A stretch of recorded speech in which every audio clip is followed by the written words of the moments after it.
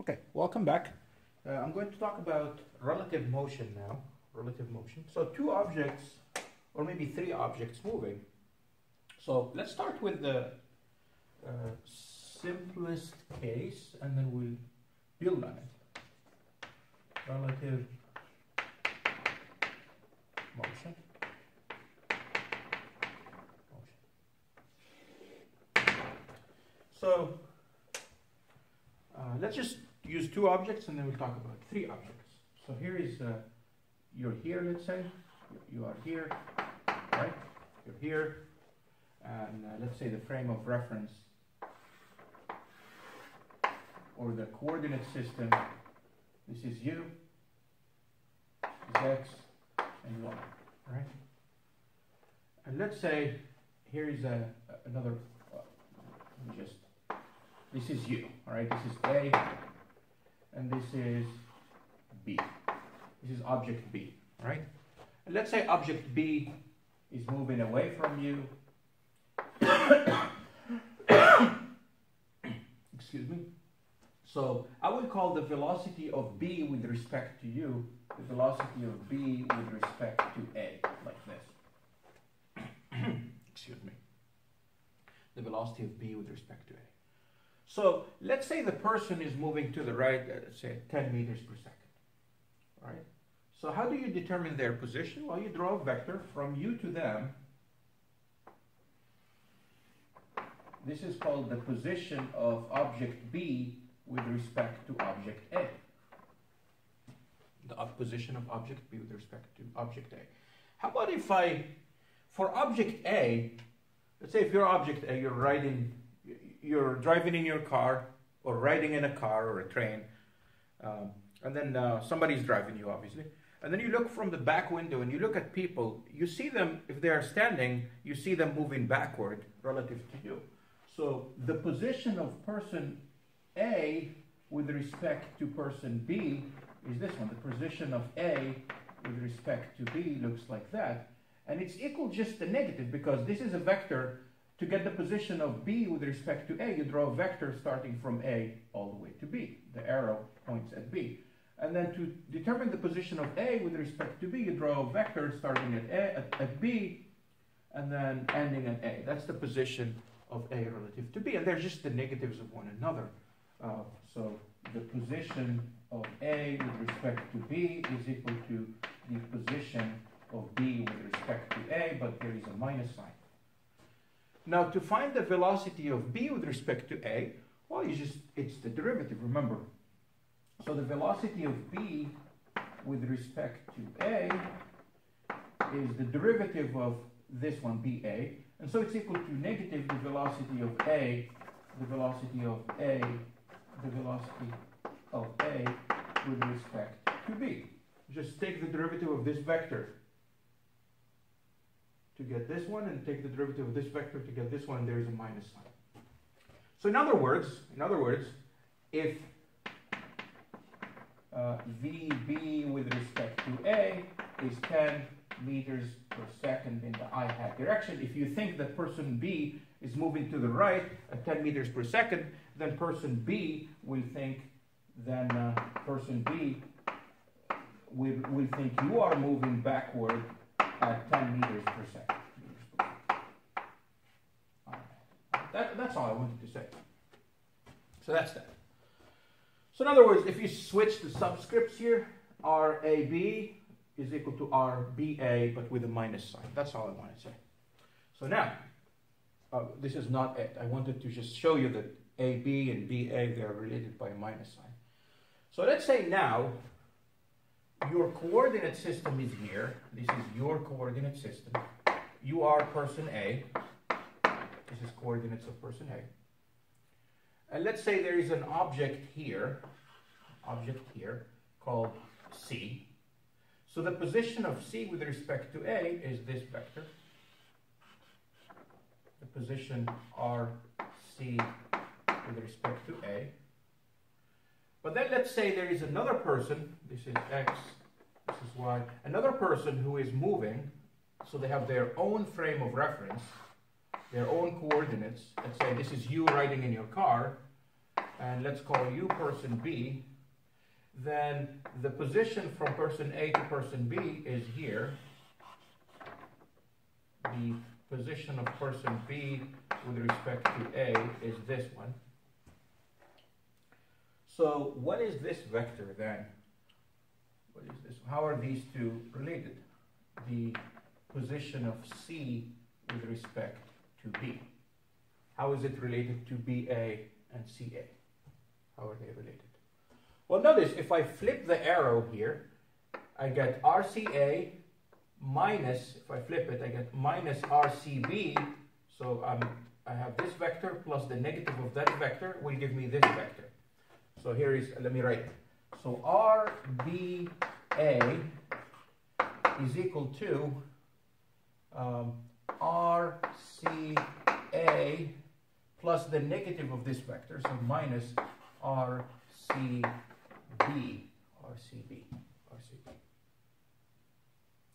So let me uh, uh, move this one, uh, or yeah, let me move this one to here. So RCA will equal to uh, move this one to here. So I get RCB plus RBA. Yeah, let me move this one to there. And I get this interesting formula. Good. And if I take the derivative of this formula with respect to time, I will get the velocity of object C with respect to object A, relative to object A, is equal to the velocity of object C relative to object B plus derivative of this will give me the velocity of object B relative to object A. So they just add up. So the velocity of C uh, with object C relative to object A is equal to the velocity of object C relative to object B plus the velocity of object B relative to object A. So in other words, so let's say, uh, give you just a practical example. Let's say you're here, you are object, your object you are object A, you're standing still. And then there is a train here, train. Let's call the train is object B, the velocity of B with respect to A. And the train is moving to the right, and let's say it's, it's moving at 10 meters per second. And then there is a person within the train, let's call that person object C, and that person is moving within the train so the person thinks they're moving in the train, and let's say they're moving in the train at 5. Uh, the velocity of this person, c, with respect to b, velocity of, let me draw it in orange, the velocity of c with respect to b is 5 meters per second. So what's the velocity of this person, c, relative to you? So you see a train moving at 10 meters per second, and within the train there is a person moving at 5 meters per second in the same direction as the train. So intuitively, you would say it's 15. And that's what this formula is saying. It's saying that the velocity of c with respect to a, the velocity of c with respect to a, will equal to the velocity of c with respect to b plus the velocity of b with respect to a. And so the velocity of c with respect to b is 5, and the velocity of b with respect to a is 10, and so that's 15 meters per second, as we expect. But this is more systematic than doing this, uh, than the intuition, because sometimes they get complicated. By the way, notice here, CA, the outer subscripts here, this is a C and this is an A, and then the inner subscript, it's like it cancels, and you just get the outer ones, CB, BA. Okay? So let us do uh, two examples in this. So uh, I got the names uh, so uh, yes, so let's say, yeah, I, I get the names uh, mixed, so let me get them. Sure. So you have a, uh, let me write it down here. So example.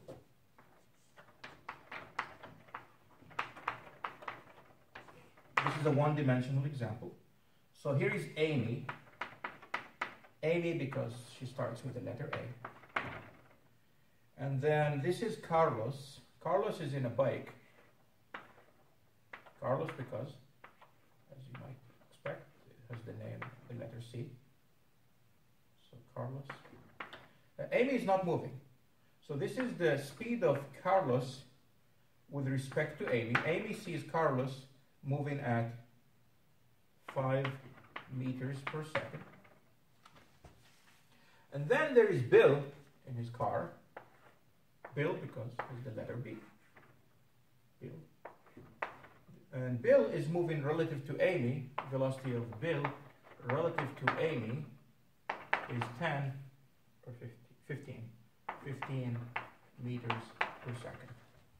Right? And the question is, what's the velocity of uh, Amy with respect to Bill? So find V Amy with respect to Bill. So VA relative to B. So what does Bill think Amy is doing?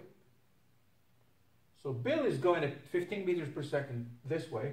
Amy is moving, uh, not Amy, I'm sorry, uh, Carlos is moving at 5 meters per second. So Bill will think Amy uh, is just lagging behind by 10 meters per second every second because he's going ahead of her. Not her, uh, Carlos. This is Carlos. I'm sorry. I should. Bill. Carlos. Amy. Okay. And so, um, so what is the velocity of Carlos? Yeah, that's where all the mistake came from. What is the velocity of Carlos relative to Bill? Okay. Well, I'm going to write. I know that the velocity of A relative to uh, of uh, the velocity of C relative to A is equal to the velocity of B relative to uh, the velocity of C relative to B plus the velocity of B relative to A. Yeah, so that's what I wanted to do. Let me put this back.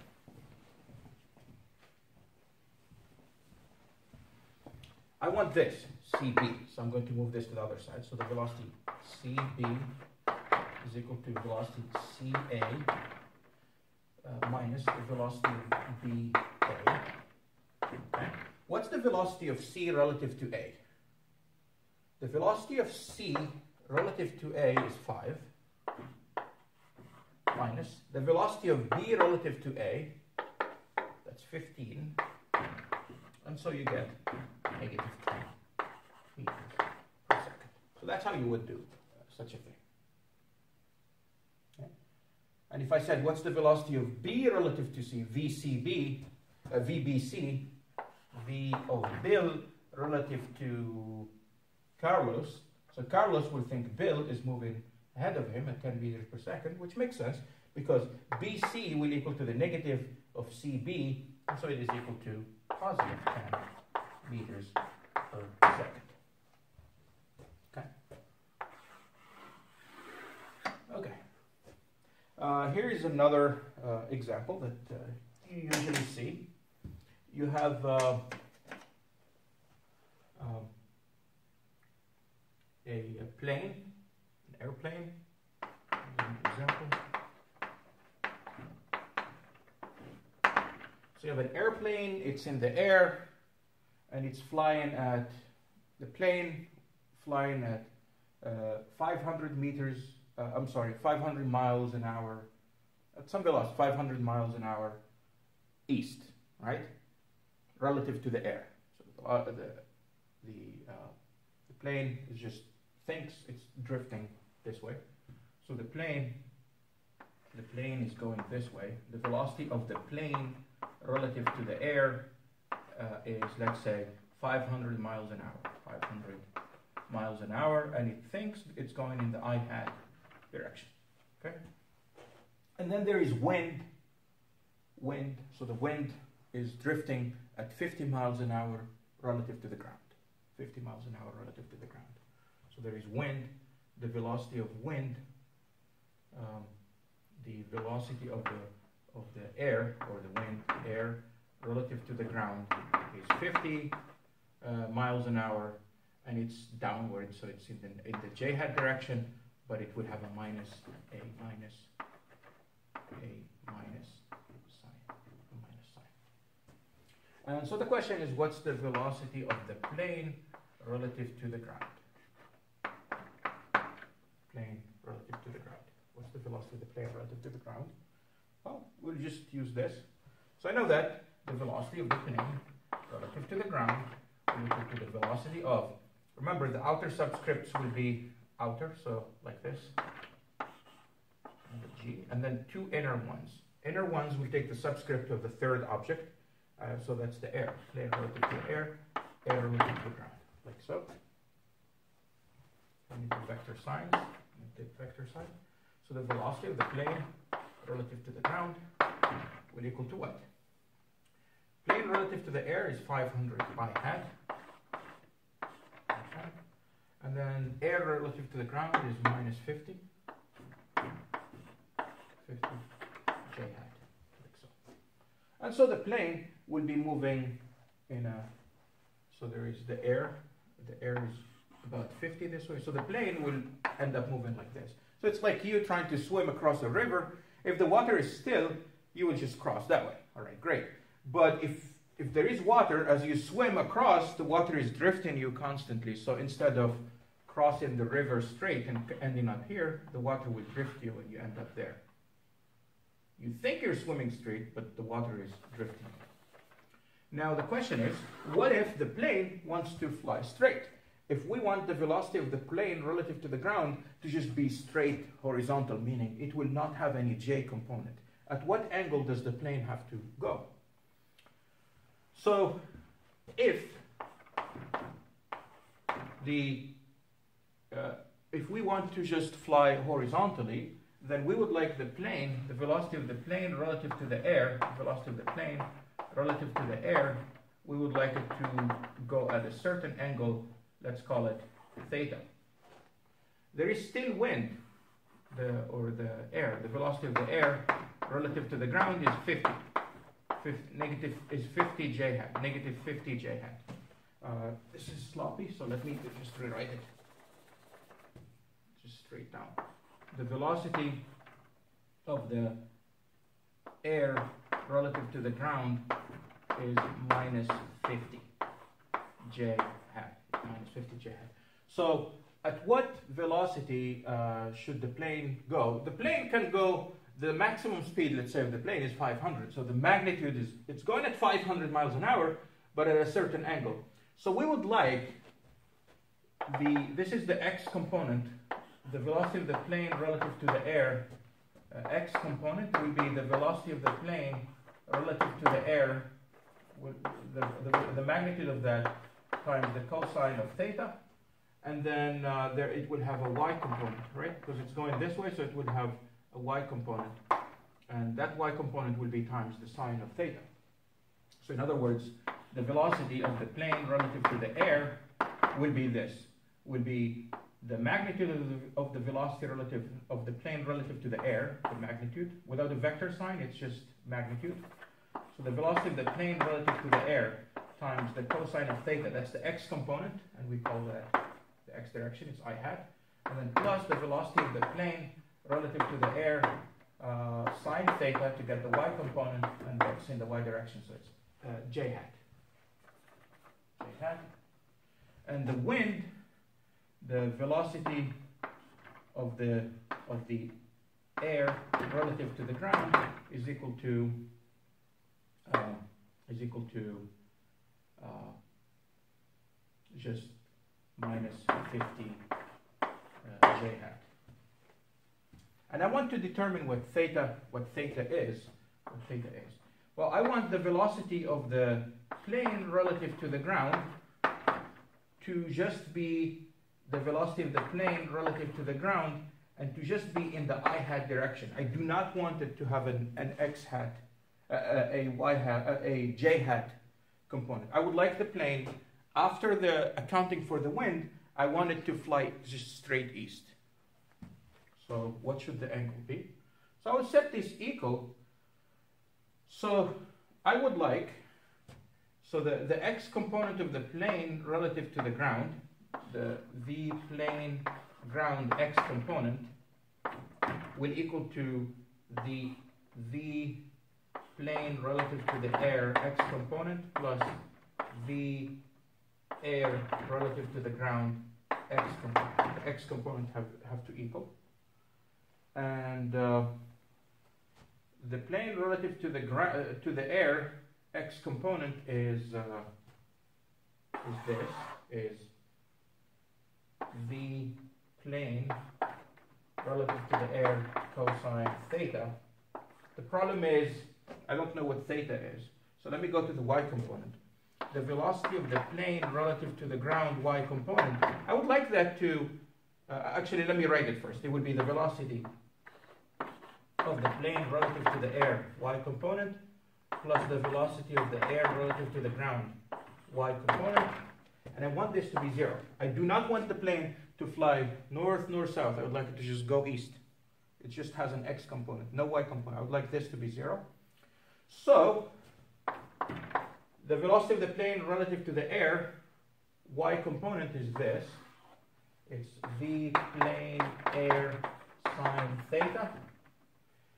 Air relative to the ground y component, it only has the y component. It's actually minus 50. minus 50. You might say, why didn't I write j hat? Well, I'm just talking about the y component. That is the j hat. So that's that. And you got 0 here. And so you get the velocity of the air, uh, of the, the velocity of the plane relative to the air has a magnitude of 500. So it would be 500 sine theta is equal to 50. Move the 50 to the other side. And so theta would be sine inverse of 50 over 500. And let me just get my calculator. You get sine inverse of 50 over 500 is 1 tenth.